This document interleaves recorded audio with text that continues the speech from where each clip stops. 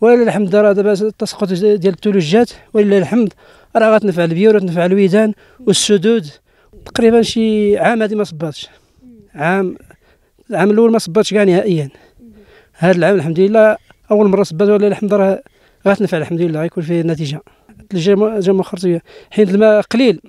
ما السدود خوا والبير أنا ما بقاوش. كاين اللي حفر 360 متر ما يلقاش الماء.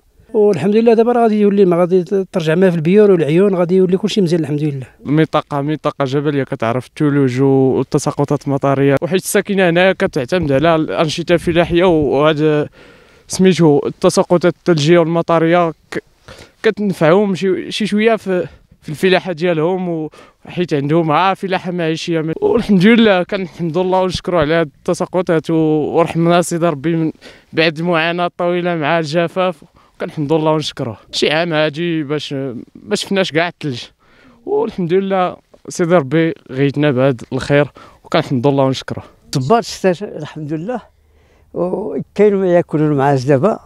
كاين آه، اسمه الربيع مازال ما نض ولكن الغابة كاينة الثلج كاين. كاين ثلج بزاف. الحمد لله الحمد لله وشكرنا